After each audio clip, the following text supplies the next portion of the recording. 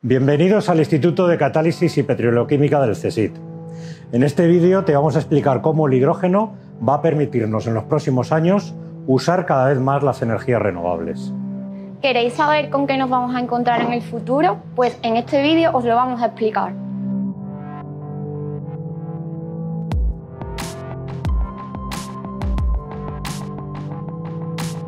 Todos tenemos muy claro que las energías renovables van a jugar un papel fundamental en el futuro. Esto nos va a permitir no solo proteger el medio ambiente, sino que además vamos a conseguir energía mucho más barata que usando combustibles fósiles y por si fuera poco, estas energías renovables están a disposición de cualquier país, pues se pueden encontrar en cualquier lugar del mundo. Las energías renovables producen fundamentalmente electricidad por lo tanto, cuanto más energías renovables haya, mayor será la cantidad de electricidad que usemos para todo. Esto tiene dos limitaciones. La primera es que las energías renovables no las tenemos disponibles todo el tiempo, solo las tenemos cuando haya luz solar o cuando haya viento. Pero la electricidad las necesitamos las 24 horas del día, todos los días del año. Por lo tanto, necesitamos almacenarlas. Algunas veces unos días, otras veces varios meses, por ejemplo, del verano, que hay más luz solar, al invierno, que hay menos. La otra limitación es que hay industrias como la del acero o la industria química donde el uso de la electricidad no es posible. Estas limitaciones se pueden resolver mediante el uso del hidrógeno. El hidrógeno es un gas cuyas moléculas están formadas por dos átomos de hidrógeno unidos fuertemente y que se puede usar para producir energía. La buena noticia es que podemos producir hidrógeno fácilmente a partir de la electricidad y acumular grandes cantidades de energía durante largos periodos de tiempo, incluso meses, del verano al invierno. Además, industrias que no pueden fácilmente usar electricidad sí que pueden usar hidrógeno directamente, como la industria siderúrgica, la del acero o la industria química.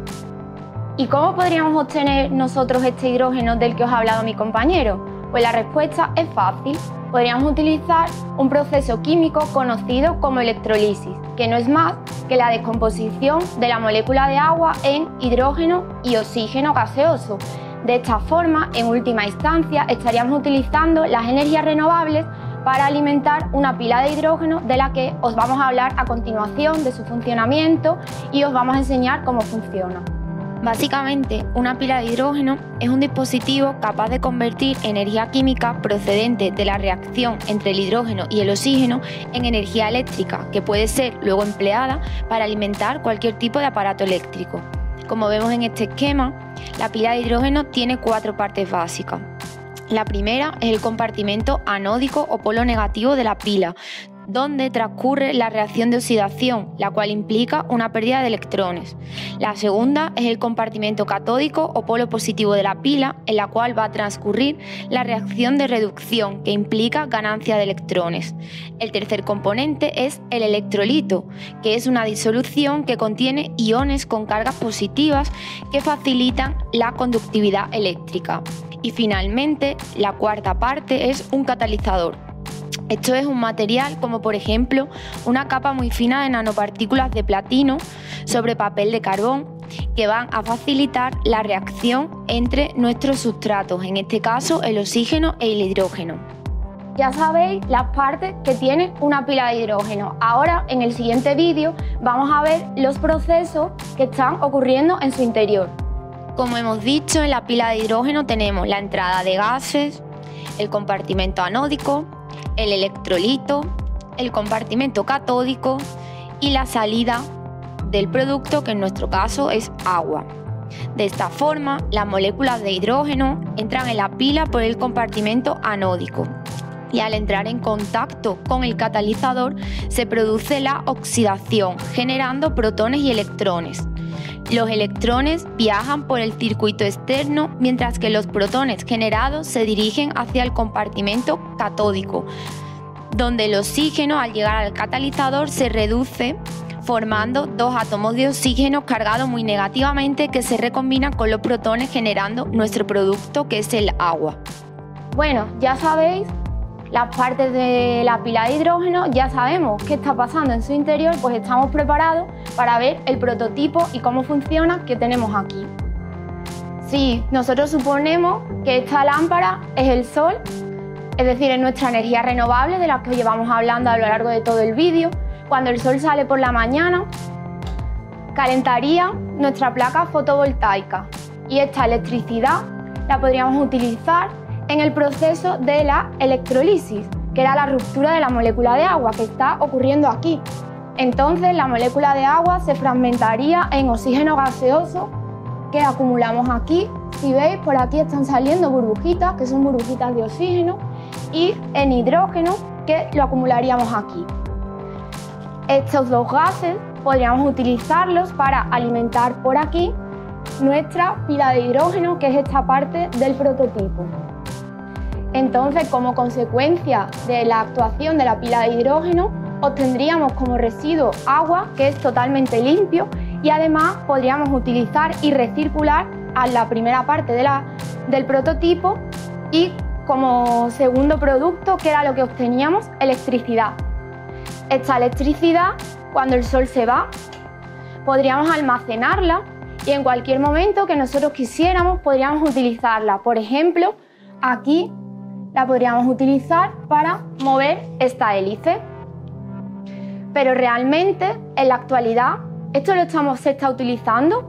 Pues sí, existen autobuses y coches que actualmente funcionan con pilas de hidrógeno y se espera que en un futuro pueda tener muchas más aplicaciones.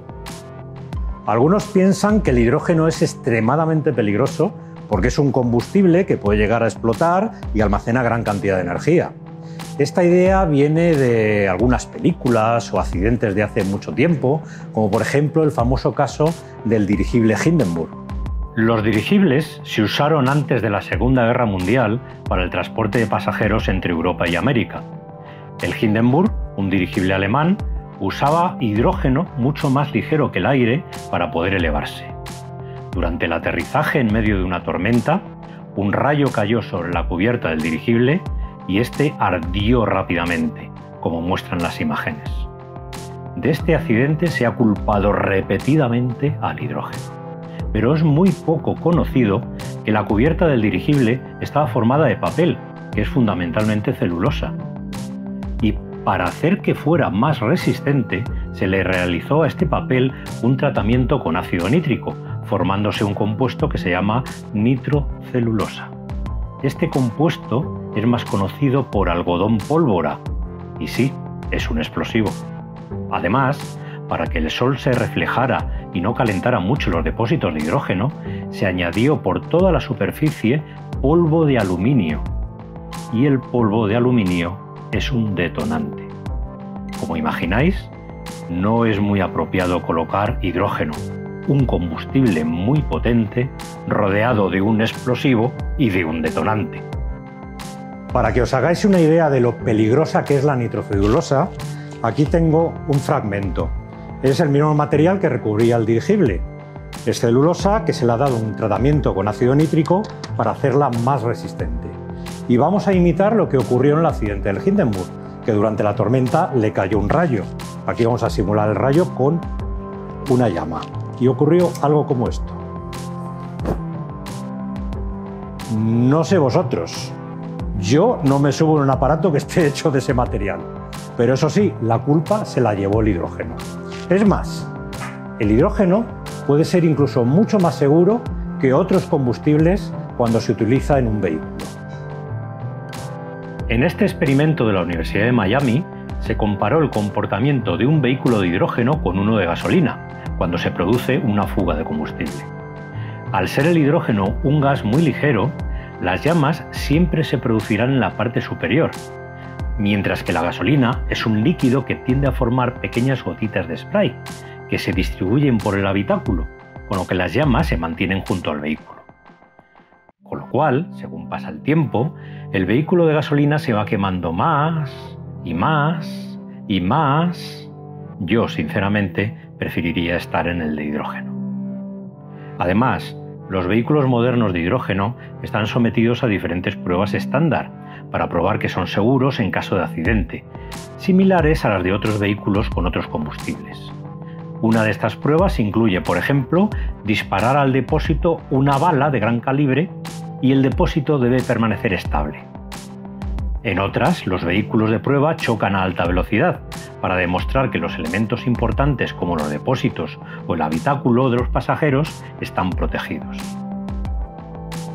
En conclusión, todas estas tecnologías nos van a permitir en los próximos años usar de manera mucho más eficaz las energías renovables. Por tanto, la investigación en las tecnologías de producción de hidrógeno es esencial para poder obtener energías limpias en forma masiva, lo cual nos permitiría crear dispositivos más eficientes y que podamos obtener de forma más económica. Espero que os haya gustado el vídeo y que hayáis disfrutado con este taller. Nos vemos pronto.